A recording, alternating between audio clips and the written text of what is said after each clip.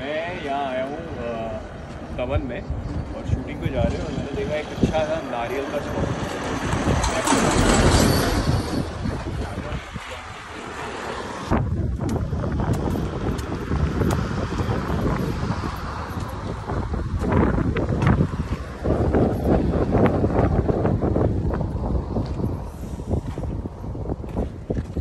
नारियल पानी का मज़ा ही कुछ और है, और ऐसी खूबसूरत जगह पर देखो।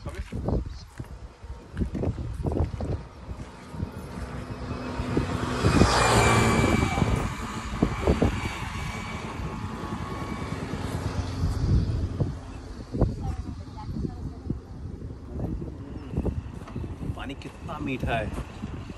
तो बेसिकली दमन और गुजरात के बीच का ये स्ट्रेच है।